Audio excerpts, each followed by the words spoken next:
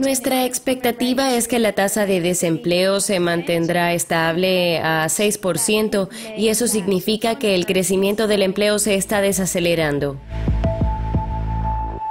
Janu Chan, bienvenida de nuevo a Ducascopy TV. Gracias por invitarme.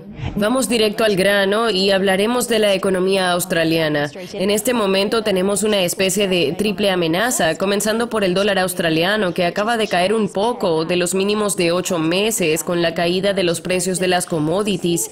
Aún existe apoyo para esos altos niveles debido al sentimiento de riesgo. Por lo tanto, ¿el RBA ya puede decir adiós a esa tendencia a la baja que tanto esperaban? El RBA dijo que una moneda más devaluada sería bienvenida pero solo porque quieren más estímulos. No creo que ellos piensan que la moneda tiene que estar más baja en comparación con las variables fundamentales o que está mal alineada con los precios de las commodities.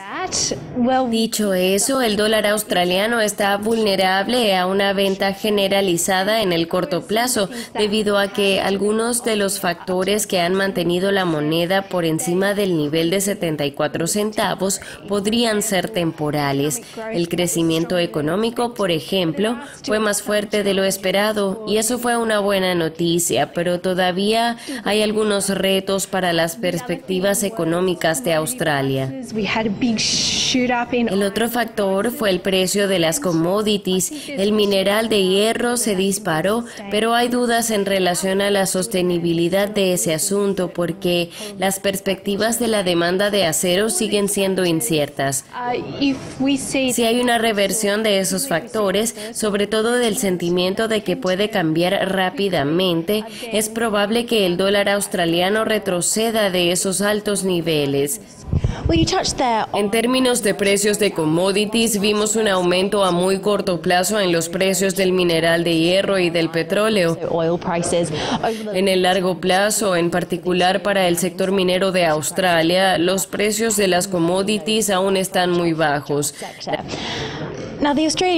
La economía australiana ha intentado una transición de la minería a otros sectores con el fin de estimular el crecimiento económico en el futuro, pero ¿ya estamos viendo alguna señal de eso?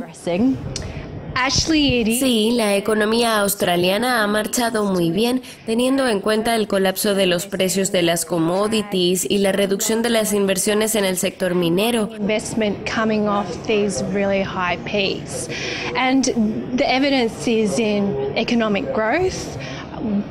La evidencia está en el crecimiento económico anual, que fue más fuerte de lo esperado, a 3%.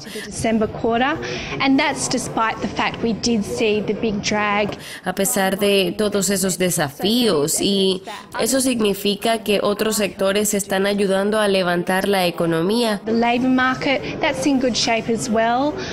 El mercado de trabajo, por ejemplo, está saludable y las encuestas empresariales empresariales han indicado que las condiciones fuera del sector minero están en la media o por encima. La semana pasada tuvimos una avalancha de datos y esta semana tuvimos el indicador de confianza del consumidor que no fue tan alto como se esperaba debido a la volatilidad financiera y a las tensiones políticas.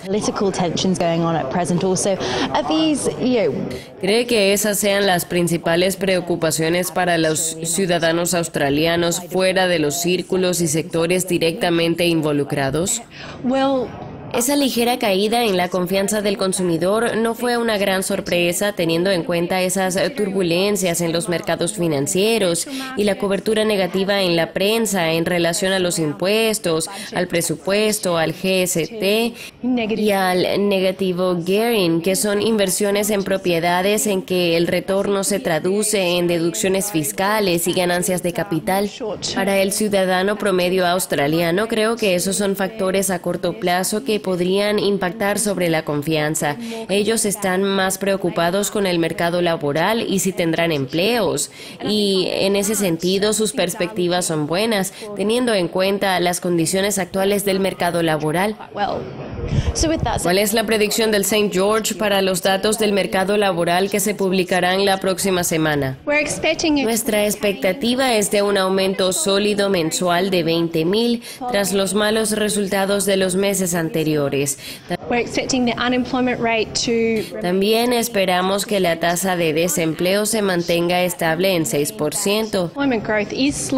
Y eso significa que el crecimiento de los empleos está desacelerando, pero al mismo tiempo esperamos que el ritmo sea suficiente para mantener el desempleo estable.